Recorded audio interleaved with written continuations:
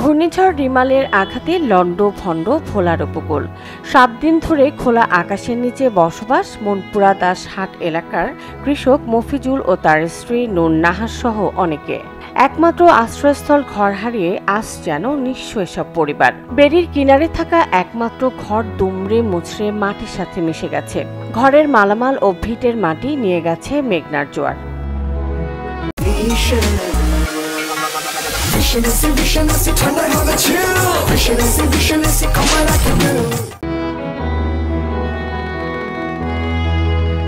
বর্তমানে এমপি আঙ্গ এই দশ পনেরো বছর ধরে খালি বলক হয়ে দেয় বলক দেয় বলক দিতে যায় আর নতুন বেরি করতে যায় পুরান বেরি কাটি পুরান বেরি কাটি অন ভিতরে পানি ঢুকে টোটাল বাড়িঘর সব শেষ।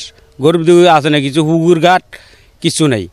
মাছ বৈশা সব শেষ হয়ে গেছে, ঘর দুয়ার। এই যে এনতন পাঁচ ছটা ঘর এনতন শেষ হয়ে গেছে। নদী ভাঙতে ভাঙতে ধরেন, একে একে ধরেন ভাঙতে ভাঙতে আমরা এনতন ইয়ে নাই এনতনও খুলে যাই, এই মিলে ধরেন আমরা দশ পনেরো বার ভাঙি, আমরা আইসি, কোনো জায়গা জমিন কিনুর রাঙ্গ, কোনো ক্ষমতা নাই।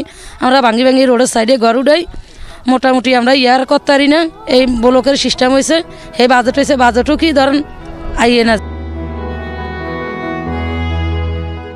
ঘূর্ণিঝড় রিমালের প্রভাবে মনপুরার পাঁচটি ইউনিয়নের দুই শতাধিক ঘরবাড়ি বিধ্বস্ত হয়েছে। খোয়া গেছে ফসলি জমি খেরের মাছ। বেড়িবাদ ভেঙে লবণ পানি ঢোকায় সেই পানি খেয়ে অসুস্থ হয়ে পড়ছে গবাদি পশু। উচ্চ জোয়ারের পানির চাপে ভেঙে গেছে রাস্তাঘাট। মানুষের মরিচ চিচিন্দা ঢেঁড়স, এগুলার খুব ব্যাপক ক্ষয়ক্ষতি, কলা গাছ, কলার বাগান, এগুলার ব্যাপক ক্ষয়ক্ষতি হয়েছে। গবাদি পশু পর্যন্ত ঘাস খাইতে পাইতেছে না।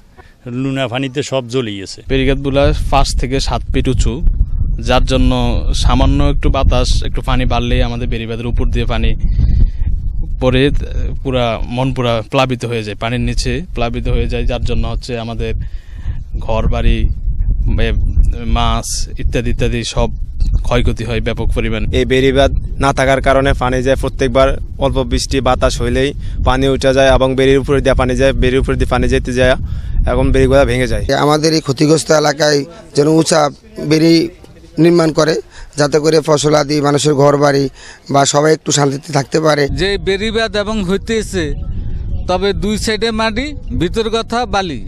তবে এই এই বেরিবাদ যদি ঢেউয়ে ভাঙ্গে আলা, তাহলে ভিতর কথা তো বালি চলে যাইব।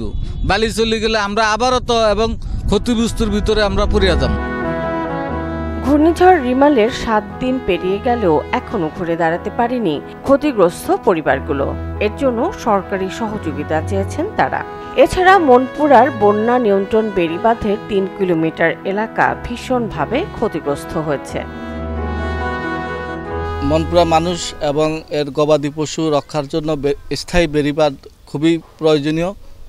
কিন্তু এটা যদি এখনই শেষ করা না যায় বা খুব দ্রুতই শেষ করা না যায়, তাহলে সামনে যেই অমাবস্যা বা পূর্ণিমা, এর প্লাবনে পুরো মনপুরার মানুষ আবারও গৃহবন্দী হওয়ার, পানিবন্দী হওয়ার আশঙ্কা এই থেকে উত্তরণের জন্য আমরা দাবি করছি। এখন বর্তমানে যেভাবে বেরিবারটা তৈরি করছে দুই পাশে মাটি দিয়ে এবং মাঝখানে বালি দিয়ে যেভাবে বেরিবারটা তৈরি করতেছে আমার মনে হয় বড় ধরনের কোনো ঘূর্ণিঝড় সৃষ্টি হলে বেরিবারটা ভেঙে ভিতরে পানি ঢুকে মানুষের ব্যাপক জানমালের ক্ষতি হবে। তাই টিকসই মজবুত বেরিবার তৈরি করার জন্য আমার জোর দাবি রইল। ক্ষতিগ্রস্ত পরিবারকে পুনর্বাসনের আশ্বাস উপজেলা নির্বাহী কর্মকর্তার। মনপুরা প্রকল্পের নদী তীর সংরক্ষণ কাজ অলরেডি আমরা শুরু করেছি। ইতিমধ্যে মুজিবনগর অংশের কাজ নাইনটি পার্সেন্ট সমাপ্ত হয়েছে।